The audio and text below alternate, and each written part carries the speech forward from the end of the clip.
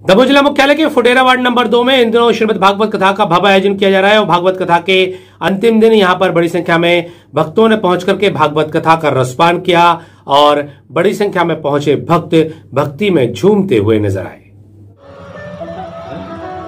नशेबाज को भैया दान कर दो, वो शाम को पी लेगा और तुम्ही को गाली देगा बताओ दान भी ऐसे व्यक्ति को करो ब्राह्मण हो चाहे संत। तो राजा नरक से पूछा, कैसे पंडित जी को? बोले, त्रिकाल संध्या करने वाले दिव्य ब्राह्मण को हम गौदान करते बोले, फिर गिरगिट क्यों बन गए? सबको सही किया फिर गिरगिट क्यों बन गया? सोई उसका अहंकार नीचे हो गया।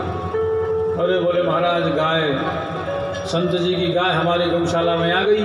हमको मालूम नहीं था। हमने वो गाय दान कर दी। वो संत जी लेके जा रहे थे। और जिनकी गाय खो गई थी, वो ढूंढ रहे थे। बोले, ये तो मेरी गाय है। अरे बोले, तेरी कैसे? ये तो मुझे महाराज ने दी। अरे बोले, चलो उन्हीं के पास। वहाँ आए।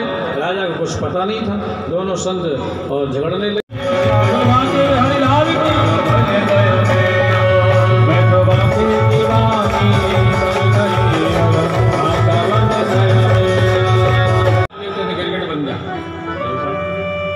बोले इसलिए भैया, ब्राह्मण संत से सावधान।